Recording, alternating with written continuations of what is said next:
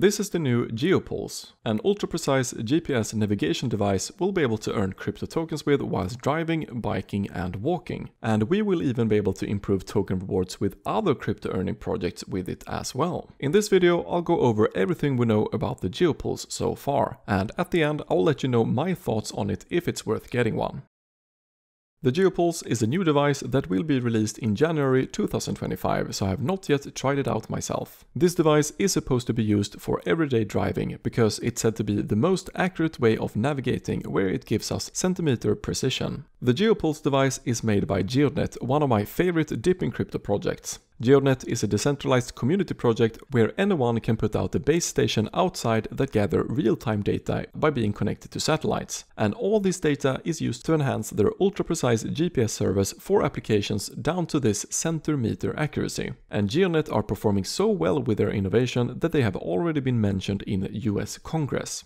The GeoPulse is also said to be very easy to use and we can simply connect it to our phone using Bluetooth. Then we'll bring the device with us when we go driving, biking or walking and the GeoPulse will use the GeoNet network to give us this improved GPS feature. So essentially this is supposed to be the world's best car GPS that will be able to interact with our phone mapping apps to show very accurately where we are. However, with the GeoPulse we will also be able to do a bunch of Web3 related aspects, crypto stuff, such as earn crypto crypto rewards from performing quests and improve rewards from other crypto projects as well, and that I'll talk about later. The GeoPulse device is currently in its pre-order stage and it will have a lower price until the 31st of December, then it will go up a bit in price. I just ordered one of these and I will leave links and discounts to it down in the description below, where you can get it for $116 currently. When buying the GeoPulse, we get a one year subscription of the GeoNet RTK network, the data network that allows this GPS service. Then after a year of usage, it will cost us $20 to renew this service. So there is a $20 yearly cost to run the GeoPulse.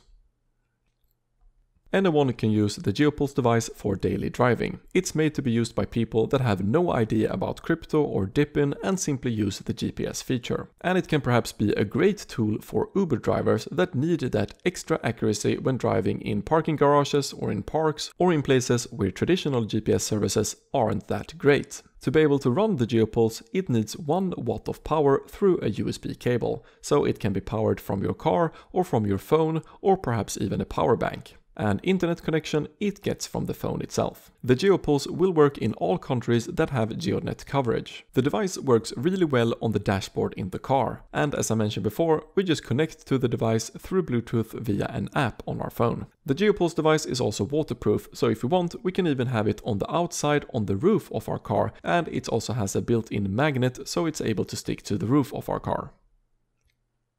The GeoPulse device is a RTK repeater, there are other cheaper RTK repeaters on the market, however the GeoPulse is supposed to be way better due to having a much better antenna, have signal filtering, and of course will be able to connect and be utilized together with other DePIN projects, which I'll talk more about soon here.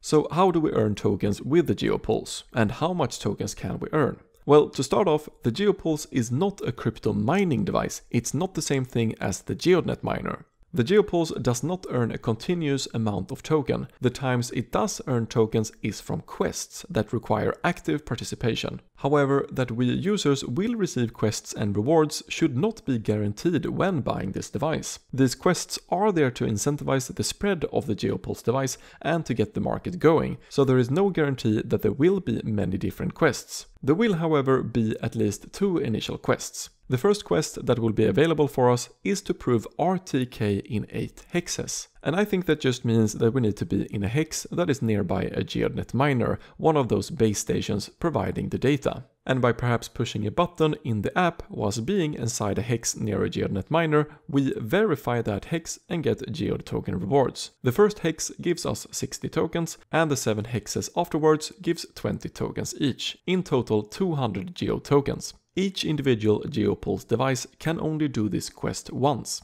The second quest will be with IoTeX, a layer 1 blockchain project focused on the DePIN sector. They will have a daily type of reward for a period of time. This quest will be based on device activity and verification, and that will give us rewards in the IoTeX token. Aside from these two quests, GeoNet are also currently looking for more partner quests in the future as well that will enable us to perform more fun quests with the GeoPulse device and thereby perhaps be rewarded with more tokens, but that is not a guarantee.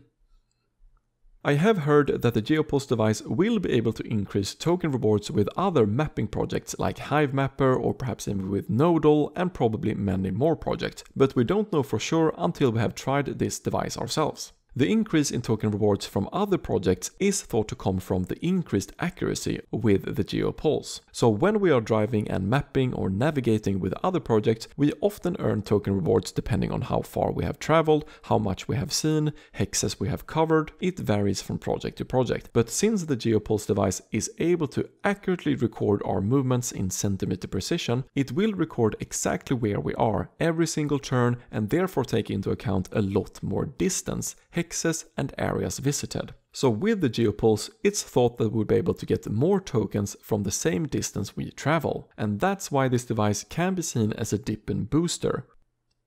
So, is it worth getting the GeoPulse device? I think it's pretty clear that this device is first and foremost intended to be used as the world's best car GPS, and I can see many wanting just that for their everyday driving. The device is a bit pricey and comes with a yearly $20 subscription in comparison with using free Google Maps. But sometimes in certain areas of the world the GPS don't work that great and I can see a real use case of using the GeoPulse device there. But I can also see that this GPS accuracy can help many in their line of work and if that's the case the GeoPulse is not really that expensive for what we're getting out of it. However, if you're someone that is driving a lot and are interested in earning tokens with multiple DePIN mapping or driving projects at the same time, the GeoPulse could make a lot of sense since it could improve the token rewards with other DePIN projects as well. How much the GeoPulse will improve rewards are still yet to be seen however. Aside from these things, I hope there will be a lot of quests in the future that will enable us users to earn a lot of different tokens using the GeoPulse. However, we should not take that for granted as this is not a crypto mining device.